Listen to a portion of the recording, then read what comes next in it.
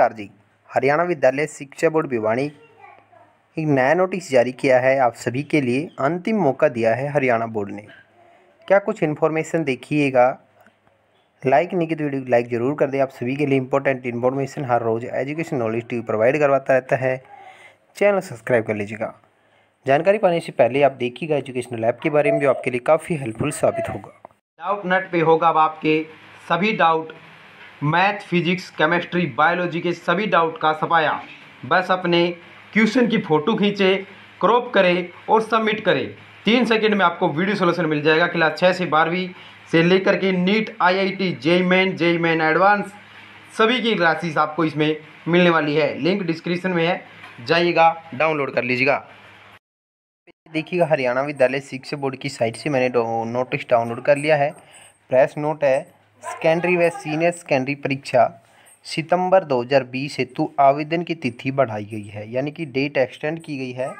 भिवानी 8 सितंबर 2020 secondary senior secondary एवं हरियाणा मुक्त विद्यालय परीक्षा सितंबर 2000 हेतु परीक्षार्थी ऑनलाइन आवेदन अब तेरह सितंबर तक कर सकते हैं। और यहाँ पे देखिएगा, इस हादसे की जानकारी देते हुए हरियाणा विद्यालय शिक्षा बोर्ड के अध्यक्ष जो कि जगवीर सिंह है एवं सचिव राजीव प्रसाद ने आज यह बताया है कि परीक्षार्थी सेकेंडरी सीनियर सेकेंडरी परीक्षा सितंबर 2020 के लिए निर्धारित तिथि तीन सितंबर 2020 तक कंपार्टमेंट अतिरिक्त सुधार, पूर्ण विक अतिरिक्त सुधार हेतु तो आवेदन नहीं कर पाए थे। ऐसे में परीक्षार्थियों के द्वारा बहुत सारे दिक्कतें आई थी, जिसकी वजह से परीक्षा नौ सितंबर से तेरह सितंबर 2020 तक कंपार्टमेंट, अतिरिक्त सुधार, पूर्ण भी सक्रिय सुधार, वेबसाइट पर जाकर के अपने हज़ार रुपये विलम्ब शुल्क के साथ अपना दोबारा फार्म भर सकते हैं, जिन्होंने भाई भरा है।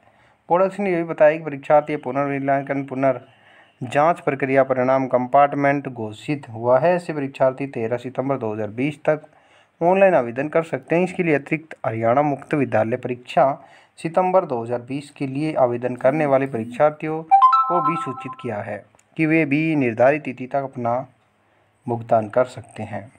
तो ये बड़ी जानकारी दी है बोर्ड के अध्यक्ष ने। जल्द एग्ज़ाम के रिलेटेड भी नोटिस जारी होगा। आपको सबसे पहले एजुकेशन नॉलेज ट्यूब प्रोवाइड करवाएगा। सब्सक्राइब करिएगा। धन्यवाद।